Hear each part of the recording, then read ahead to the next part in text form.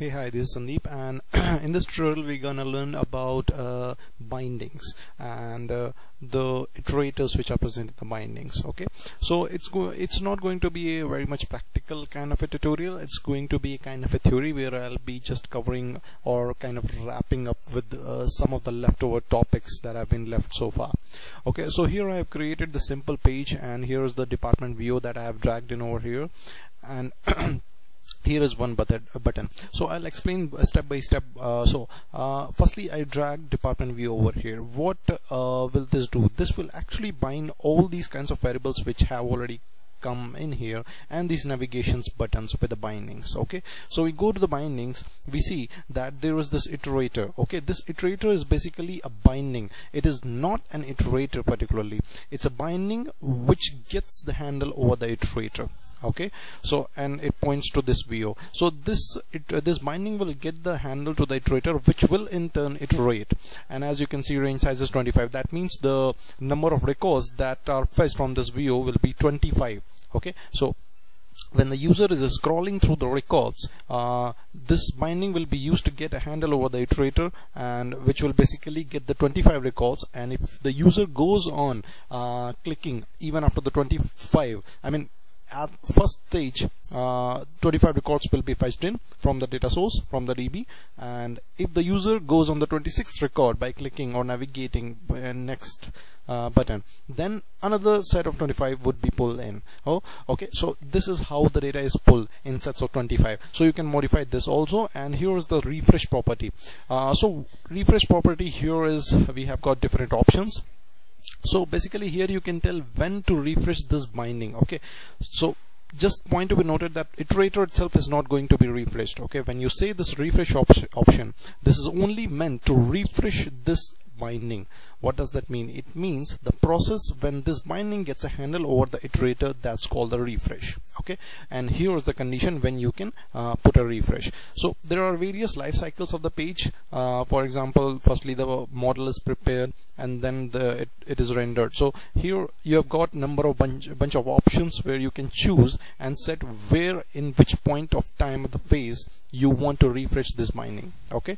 And you if you want you can uh, put the refresh condition also okay so this is how uh, it goes.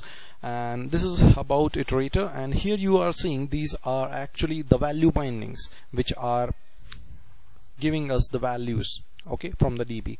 And as you can see these buttons are the navigation buttons. Uh, so corresponding to them also there is this binding. So these are basically the buttons. And if you click on them you can see their action listener says bindings dot first dot execute. So bindings uh, it goes in bindings. And first is the method and execute is execute this method. So in the bindings also we see there is this first method. So point to be noted here is that these are the value bindings and these are action bind uh, sorry these are method bindings okay? So this is how it goes. These are the methods first previous next and last. And you can call them with bindings dot this name first previous next last or whatsoever and then execute okay? So you can call them. And as you can see over here uh, I have got the next button and here in the uh, if you click on next button you see uh, hold on. Yeah action is nothing and action listener. So talking about the action and action listener what are they? Action is basically used to specify where to go okay? And in action listener you specify which method to call. For example this complete thing can be explained with the help of this button. Firstly I dragged a button over here and then if you see this action it says go to success page basically here if you click go to success page action comes to this page success page. Okay? So here I got this uh, button. If you click on this this outcome would be generated. This uh, and due to this it would be forced to navigate to the success page. So this is how navigation is controlled and on the same time this method will also be called. So point to be noted here is that action is meant for navigation and action listener is meant for calling any method.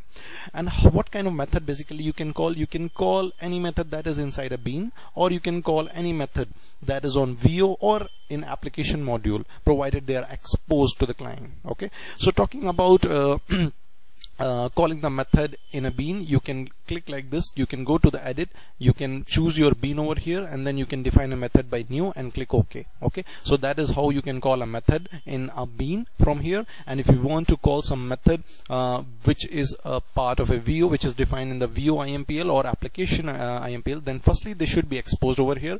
I've already got some methods. Uh, this is departments view this is this was one of the method that I wrote in the departments view IMPL class. And this was exposed to the client. So that is the reason you are seeing here um, it in the data control okay? So they are there in the data control. So to design this particularly I simply drag this method over here. And what did it do? It actually created this action listener. It said like okay this is the method. And when I drag it over to this button this means that when I click this button this method should be called. And when it can be called only when the binding of this method is added to this page over here which is automatically added when I dragged it. And then in the action listener you say bindings dot a method in view dot execute. Okay? So there are two ways basically. Two ways in the sense like one way I already showed that I simply dragged it over it. So simply it added the binding automatically. If you want to add the binding you can go ahead click over here and then you can say okay I want a method method binding okay? So I want to say method action and then click OK so click OK. So here you you will have all here if you choose the data control all methods which have been written and exposed to the client in AMIMPL are present over here. So you can click any one of them and you can supply the parameters. If at all they are there and click OK so that this binding would come over here. Okay? Similarly if you want to uh, if you want to pull in this method so this method as you see it was there in the departments view. So you click on this there is this method. So you just click on this and you know this method expect uh, is expecting a parameter. You can supply the value from here and then you can just uh, call it. Or you can just uh, make uh, this method available in the binding. So earlier it was already available because I dragged it. Actually you will not be needing to actually um, uh, add binding manually because whatever you drag to the page binding is automatically added over there. Okay so this is about the action the action listener and sometimes so uh, basically one more topic I want to cover over here is that sometimes uh, you have a need that suppose you are displaying this page and before this page renders and after this page renders you want to execute something. No doubt you can do it by placing the methods or operations whatever you want to do in the task flow just ahead of this page and just behind this page. But uh, there is something called as listeners. There are something called as listeners. So you can design that also. Firstly you would need to write a class for example this piece of code you write some class my page and it should actually uh, implement this page phase listener okay? And here you can override two method before phase and after phase. This is after phase this is before phase.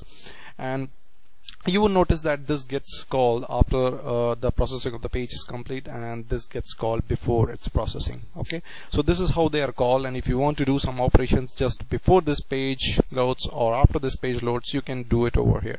So this actually when you define this you can actually register this page uh, page phase listener in uh, globally so that when each and every page is called this listener would be called. So you can do whatever you want. But actually talking about the enterprise application you wouldn't uh, have a need that after each and every page is called you want to do some kind of operation and you always want to do it with the page phase listener. No it won't be.